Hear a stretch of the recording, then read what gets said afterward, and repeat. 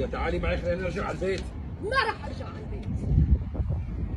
كل هذا لأني أنا قلت الصراحة قدام العالم وبدي اقولها لك احترم حالك بقى أنت وياها. احترموا إنه أنا حامل.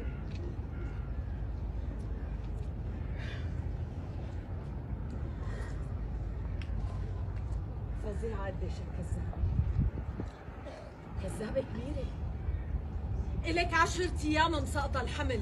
وعم تكذبي على كل هدول الناس وعلى جوزك اللي ما بيحبك. بس مشان ما يطلقك ويقضي معك كم شهر زيادة. يا حرام. ولك راسي راسي